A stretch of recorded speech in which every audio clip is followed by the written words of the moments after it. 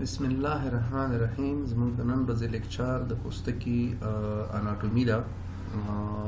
په دې برخه کې مونږ پوستکی په دوه برخو باندې ویشو یو د پوستکي ایپیدرم یا پورتنۍ طبقه ده لکه په دې ماډل کې چې ښکاري او یو د پوستکي درم طبقه ده دا دوه اساسي طبقې دي د پوستکي چې د دواړو ته کیوټیس نوم هم اخلي او یو سب کیوټیس ته د لاندې په زیړ رنګ باندې چې ښکاري دا سب کوټانیس ټیشیو یا سب کیوټیس طبقه ده کوم چې هایپودرم نوم هم ورته اخلي په عمومي ډول باندې په دې بل طرف تصویر کې د پوستکي ټول ملحقات لکه هیر فولیکل د وینې رګونه عصبي نهایات مثلا ایکراین ګلاینډ او مختلفې برخې د پوستکي ښکاره کېږي چې دې باندې وروسته په مکمل ډول باندې بحث کوو همدارنګه په دې تصویرونو کې هم د پوستکي ټول طبقات جدا جدا او همدارنګه مثلا دغه ایپیدرم طبقه ده د دې نه لاندې درم طبقه ده او دغه هم سب کوټانیس ټیشو یا هایپودرم طبقه ده مختلف ملحقات د پوستکي پکې ښکاري موږ لومړی راځو د ایپیدرم طبقې ته د ایپیدرم طبقې زخامات د سترګو په زیږمو کې 0.1 ملي متر او په ورغوي او تله کې یو ملي متر دی. په عمومي ډول که د لایټ مایکروسکوپ لاندې وکتل شي درې طبقات پکې ښکاري یو پورتنۍ طبقه چې موږ تاسو په سترګو باندې ګورو دې ته کورنیوم طبقې نوم ورکړل شوی دی منځنۍ ملپیګي لایر یا سپینوزم لایر او لاندینۍ بزل سیل لایر یا جرمینټیو لایر په نوم باندې یادوي په دې طبقه کې مختلف حجرات موجود یو کیراتینوسایت دی چې کیراتین جوړي او کیراتین هم نرم کیراتین هم سخت کیراتین لکه نوک د پاره سخت د ویښته د پاره هم سخت کیراتین جوړي نرم کیراتین پوستکي باندې پروت دی او اتیا 15 اتیا فیصد د اپیدرم حجرات هم کیراتینوسایت حجرات تشکیلي لنګرهانس حجرات ماکروفاج حجره ده معافیتي حجره ده دا اصلا انټيجنز نیسي او لمنځه وړي او همدارنګه د انتیجن نیول او نږدې لا هیوی اوقاداتو ته د هغه رسول هم د لنګرهانس حجرې وظیفه ده مرق الحجره دا اصلا وظیفه یې صحیح معلومه نه ده خو داسې نظر موجود دی چې دا د عصبي سیالۍ په انتقال کې رول لري ځکه عصب د دې حجرې په لاندني قسمت کې نښته وي یا راغلی وي ورته بل میلانوسایت حجرات دي میلانوسایت حجرات میلانین پروډکټ کوي او میلانین پوستکی ته خاص رنګ ورکوي یو حجره بل انډیټرمیناټ په نوم باندې پکې موجوده ده چې دا انډیټرمیناټ حجره په پوستکي کې کومه خاصه وظیفه تر اوسه پورې معلومه نه ده کنټروورژیل ده تر څېړنې لاندې ده که چیرته همدا اپیدرم طبقه د مایکروسکوپ لاندې یا الکترون مایکروسکوپ لاندې وکتل شي تقریبا 15 طبقې یو د بل لپاسه پکې موجود دي که چیرته د سطح نه موږ عمق خواته ځو پنځه طبقې پکې یو سټراټوم کورنیم طبقه ده سټراټوم کورنیم طبقه د مړه کیراتینوسایټ حجراتو څخه جوړه شوې ده او تقریبا شل دیرش الا څلوېخ طبقې حجرات یو د بل سره پراته دي او سخته طبقه یې جوړه کړې ده او محافظتي وظیفه لري د دې نه لاندې یو بله طبقه د سټراټوم لوسیډوم په نوم باندې موجوده ده چې دا شفافه طبقه ده دلته د ګرانولر طبقې نه چې دین لاندې موجوده ده د حجراتو مړینه منځته راځي د چا هسته او د چا مثلا ممبران او د چا بل پارټیکل په لوسیډم طبقه کې یو ځای بل ځای کې پراته دي مایکروسکوپ لاندې یو څه شفاف ښکاري بل سټراټوم ګرانولوزم طبقه ده دا ګرانولوزم طبقه ځکه نوم ورکړ شوی چې ورباندې واړه واړه کیراتو هیلین ګرانولونه پراته دي په دې طبقه کې یو الا درې طبقه حجرات دي یو د بل سره په منظم ډول پراته دي او ګرانولر نوم یې ځکه ورکړی چې کیراتوهیالین ګرانولور باندې یا دانهداره طبقې نوم یې ورکړی دی د دې نه لاندې بله طبقه ده سټراټوم سپینوزوم په نوم باندې یادېږي دا څو طبقې حجرات دي مثلا د دې ځای نه ونیسه تر دې لاندې ساحې پورې څو طبقې حجرات دي یو د بل سره د بین الحجروي پروتیني پلونو په واسطه باندې نښتي دي او همدې خاطره مثلا د یوې حجرې پروتیني پول دلته د دې سره ټچ دی د دې خواته کش کړي د دې خواته کش شوی دا بل اخواته کش شوی دا نو دا پولی ګونه لای څو زولې لري مثلا دا یو زوله د دوه زولې د درې د څلور د پنځه د شپږ زوله یعنی کثیر الزولی دي یا پولی ګون الحجرات دي هسته لري ژوندۍ حجرات دي د دین لاندې بل طبقه چې دا منظمه طبقه ده یو طبقه حجرات دي یو د بل سره منظمي خودل شوې دي هستې لري او د پورتنیو طبقو حجرات په دوامدار ډول جوړوي تر څو چې د کورنیم طبقې نه ووځي دغه د بزل د طبقې نه د حجراتو جوړېدل او کورنیوم طبقې ته او بل اخره د پوستکي د سطح نه ورزېدل دا تقریبا دیرش الا څلوېښت ورځې وخت نیسي چې د بزل یا جرمینټیف طبقې نه حجرات جوړېږي او د کورنیوم طبقې نه غورځي دغه بل طرف ته کوم تصویر چې ورکړ شوی دی دلته بیا لږ په مشرح ډول باندې د هر طبقې هغه په جزئیاتو باندې لږ تشریح شوې ده چې د دې څخه هم ګټه اخیستلی شي دلته یو بل ماډل راغلی بیا هم هغه طبقات دي سټریپ بای سټریپ سټراټوم کورنیم لوسیډم ګرانولار مالپیګي یا سپینوزم لایر او سټراټوم جرمیناتیو دی او د هغه نه وروسته لاندې درم طبقه او هایپودرم او همدارنګه د درم د طبقې په پیلري او ریټیکولر لایرز نرو وینډینګ بلډ ویزلز ټول په مکمل ډول پکې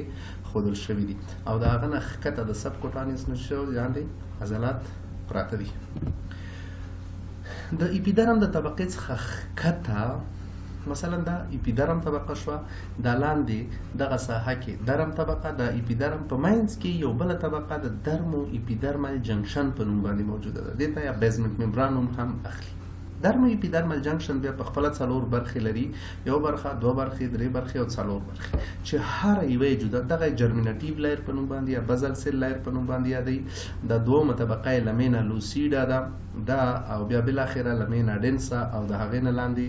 سب لمینا ډنسا دغه څلور واړه طبقې چې د ایپیدرم او درم په منځ کې موقعیت لري درم او ایپیدرم یو د بل سره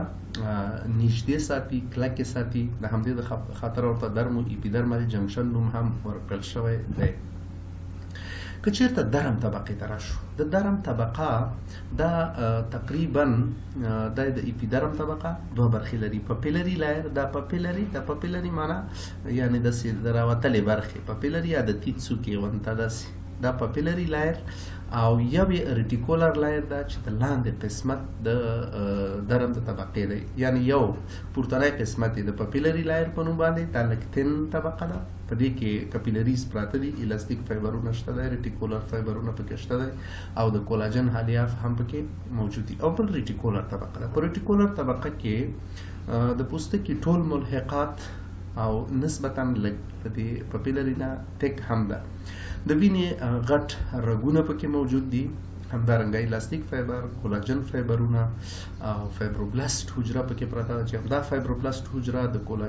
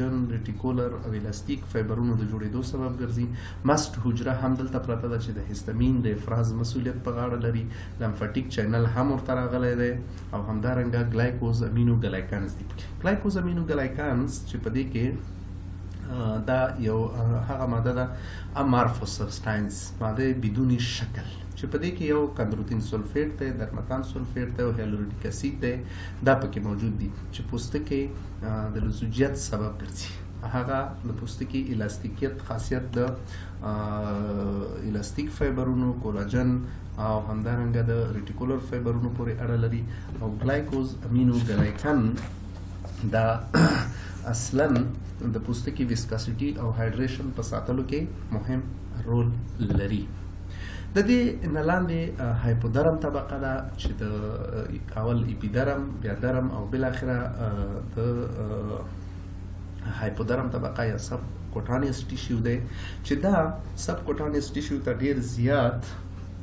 د وینې رګونه راغلي دي لمفاتیک چینل راغلی دی او ډیر زیات شهم پکې پراته دي براون فټ او وایټ فټ پکې کافي اندازه باندې موجود دي د اصلا دا د پورتنیو طبقو لپاره د انرژي برابرونکي طبقې نوم هم ورکړ شوی دی که چیرته وي تاسو د یو انسان نه پوستکی وباسئ یوازې درم او ایپیدرم وځي هایپودرم نه وځي یعنی د هستولوژي له نظره د هایپودرم طبقه د پوستکي په طبقاتو کې نه شاملوي یوازې د پورتنیو طبقو د انرژي برابرونکې طبقه ده د پوستکي اعصاب هم چې کله پوستکي ته راځي لومړی په اپیدرم هایپودرم طبقه کې یو پلیکسس جوړي د هغه نه بیا راځي درم طبقه کې پلیکسس جوړي دا هره رشته یې مختلفو ملحقاتو د پوستکي ته ورځي مثلا دا هیر فولیکل ته د خولو غدواتو ته د غوړو غدواتو ته عضلاتو ته او وینې رګونو ته مختلفې عصبي ریښې ورکول کېږي دا د پوستکي طبقات شو چې سټپ بای سټپ یو بل پسې مونږ واضح کړه اوس راځو د پوستکي ملحقاتو ته هغه پیوست غړي چې په پوستکي پورې مربوط دي په هغه باندې لږه لنډه یادونه کوو چې په دې کې لومړی د خولو غدوات دي بیا ورپسې سیبشس ګلند یا د غوړو غدوات همدارنګه ویښته او نوک دا څلور اساسي ملحقات دي د خولو غدوات په پوستکي کې په دوه ډوله دي یو واړه غدوات دي چې اکراین ګلند په نوم باندې دي په دې ماډل کې په ډیر اسانۍ سره ښکاري دغه اکراین غده ده دلته ورسره لیکل شوی هم دی کومه غده چې د اکراین ده دا نسبتا وړوکې ده قنات یې تقریبا د دې ځای نه تر دې ساحې پورې راځي او دا دیرش الا څلوېښت مایکرون متره قطر لري خولې جوړوي د پوستکي سطحې ته راوځي او په منتشر ډول باندې پوستکي باندې پرتی دي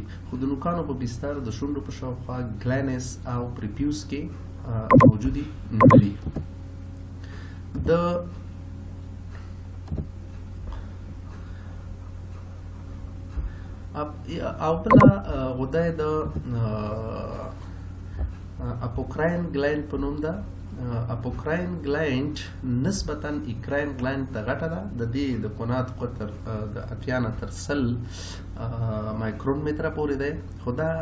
د هایپودرم طبقې نه شروع شوې ده قنات راځي راځي او د هیر فولیکل په یو پر درې علوي برخه کې خلاصيږي او د دې ځای نه خولې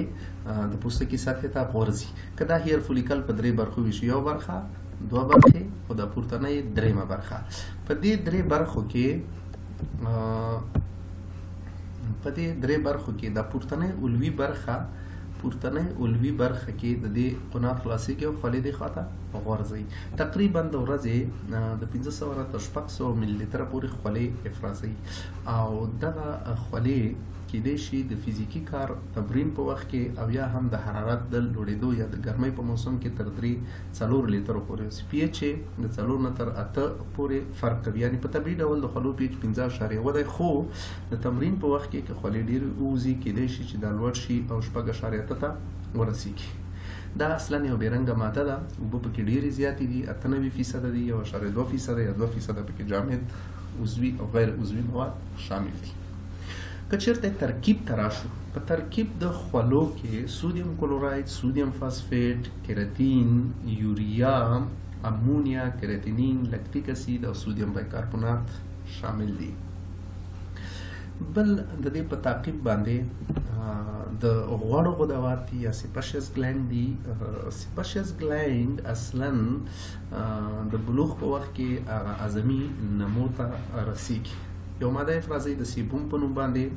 کوم چې د پوستکي د غوړ او نرم ساتلو مسولیت په غاړه لري ډېرې زیاتې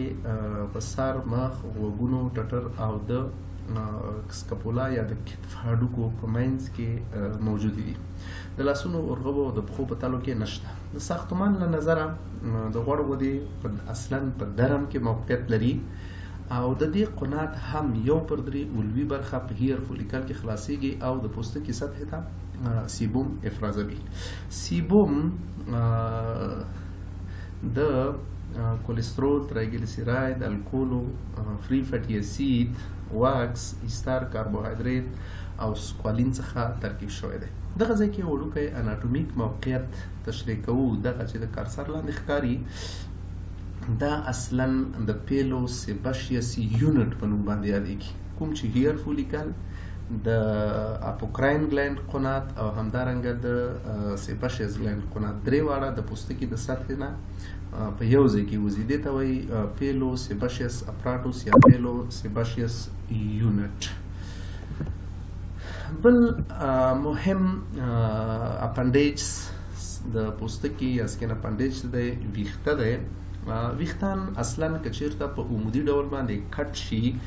دا بیرونی قسمت یې چې په سترګو باندې ښکاري دا کیوټیکل دی من ورپسې قسمت یې د کورټکس او منځنی قسمت یې د میډولا په نوم باندې یادېږي د پوستکي په ټوله سطح باندې موجود یوازې په ورغوي تله لبې منور لبې مجور باندې نشته او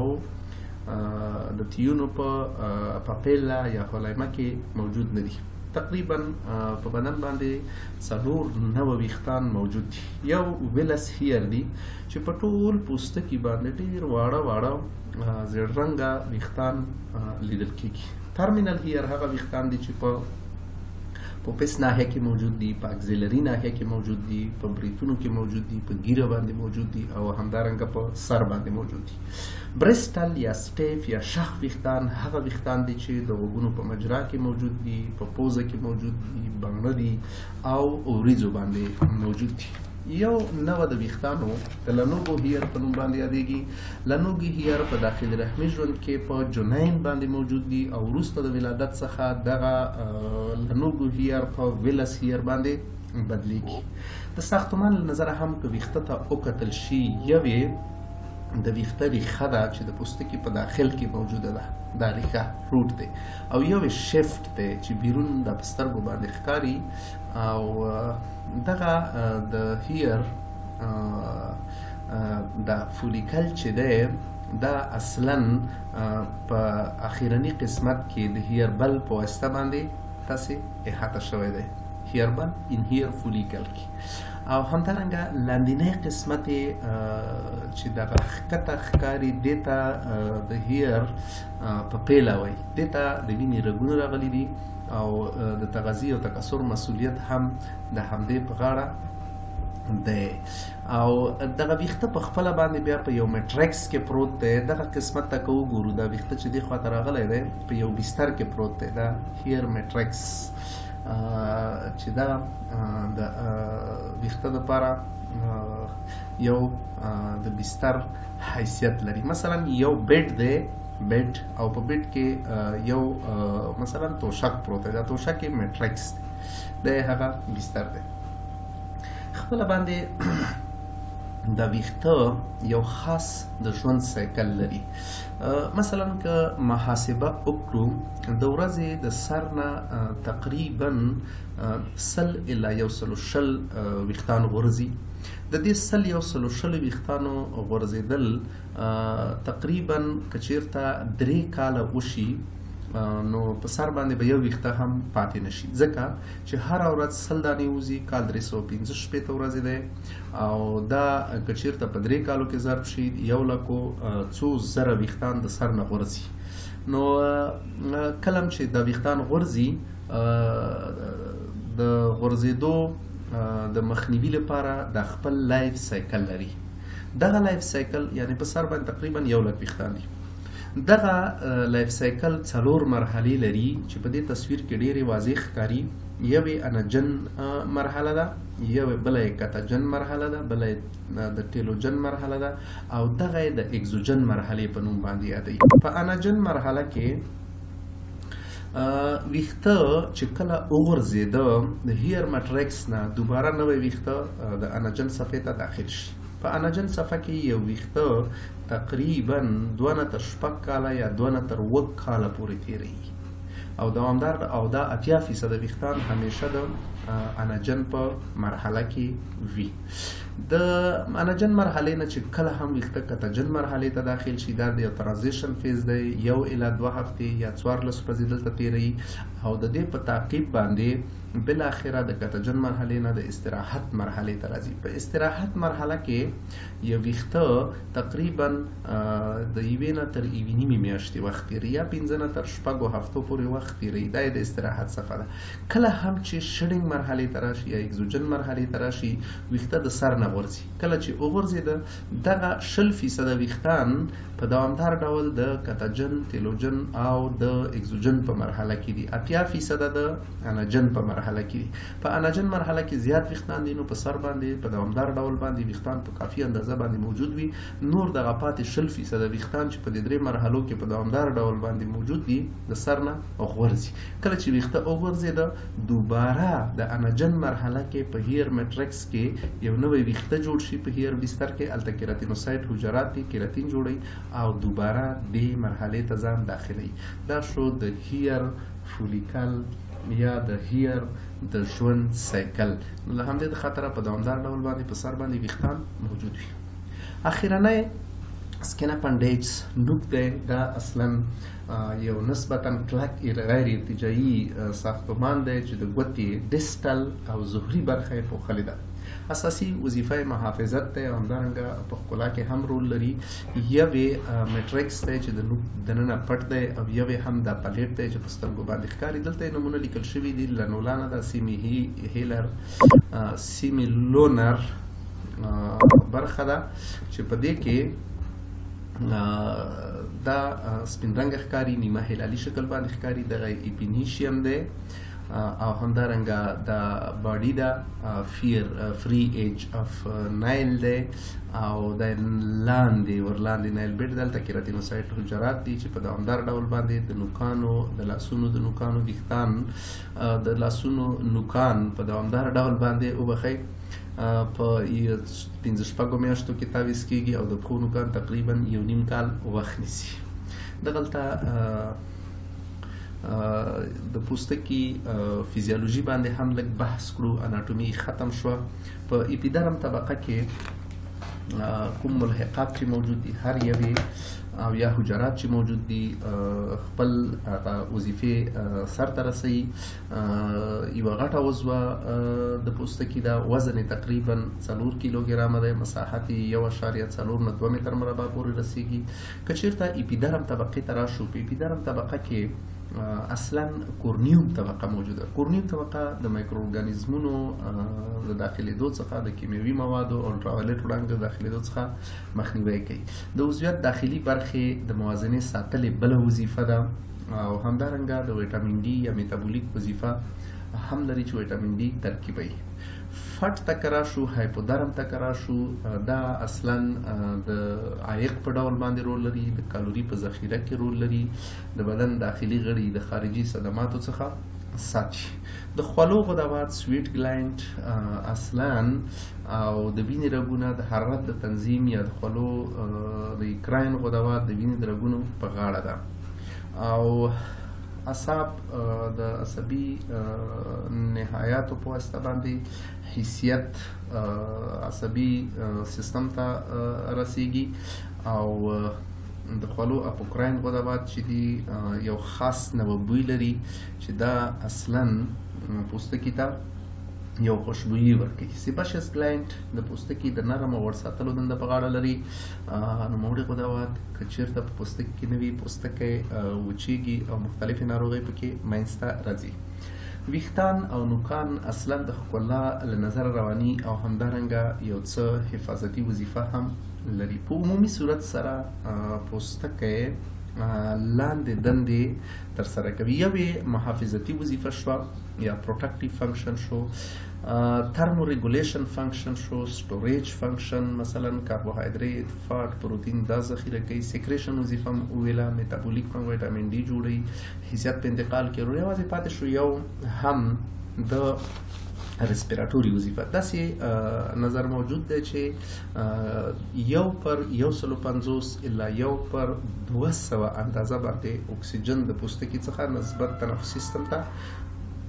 جذبیږي او همدارنګه کاربن ډای اکساید هم د پوستکي څخه وتای شي د خاطر ورته ریسپیراتوري فنکشن هم ویلی شو چې تر سره کوي د پوستکي د ناروغیو مختلف اسباب موجود دي چې دا اسباب یې د نورو سیستمونو په څیر باندې په دې کې هم منځ ته راځي مخته مثلا پاتوجن میکروبونه د پوستکي مختلفې ناروغۍ لکه بکټریاګانې وایرسونه مثلا فنګسونه پرازیټونه راتلی شي او دا پتوجن میکروبونه د پوستکي د ناروغیو سبب ګرځي یا په مستقیم ډول او یا هم د وینې د لارې یا د لمفاټیک چینل د لارې راتلی شي او د ناروغۍ سبب ګرځي حیواني پرازیټونه خودلی لکه سکیبیس او مثلا سپګي او لشمانه ټروپیک او مختلف حشرات لکه فنګسونه نباتي پرازیټونه همدارنګه فزیکل کاسز هم پکې موجود دي مثلا د تروما په واسطه تبدید په واسطه د پرشر په واسطه تڼاکه مسریشن یا لمبیدل فریکشن یا مالش په واسطه باندې د یخې هوا سره د مواجه کېدو په صورت کې کېدای شي په محیط کې سیانوس را پیدا شي د ګرمې هوا په موجودیت کې ملیریا یا ګرمي دانې یا هم کېدای شي چې سولر روټیکاریا رامنځته شي ځینې کیمیاوي مواد تیزابونه قلبي ګانې رنګونه چونه مختلف مواد د پوستکي ناروغۍ رامنځته کولی شي دا اصلا خارجي اسباب دي داخلي اسباب هم شته دی د ویټامینونو فقدان دی مثلا ویټامین سی که چیرته کم شي دا د سکروي ناروغۍ سبب ګرځي پیتیچیا پورپورای کیموس پوستکي راځي کولاجن نسج پکې صحیح نه جوړیږي د نیاسین د فقدان په نتیجه کې پلاګرام منځته راځي سیستمیک تشوشات د ځیګر تشوشات د پښتورګو مختلفې پرازیټي داني ناروغۍ هم په سیستمیک ډول که موجود وي د پوستکي تشوشات سبب کیږي ډیابیټ دی مثلا کې د پوستکي مثلا ډیابیټیک فوډ ورکوي قراحات ورکوي د کولیسترول میتابولیزم کې ځانتوم او ځانتیلیسمیا دا منځته راتلی شي همدارنګه جنټیک ډیسارډرې یا ارثي او ولادي ناروغۍ هم شته دی چې د ژوند په لومړیو مرحلو کې منځته راځي او تر بلوغت پورې دوام کوي او کېدای شي دوامدار پاتې شي لکه یو ایختیوسیس او موضعي انتانات او ستوماتولوژیک عوامل د خولې مخاطق شاته شوشات او نور انتاني محراقونه په لوکل شکل باندې د پوستکي د اخته کېدو سبب ګرځي.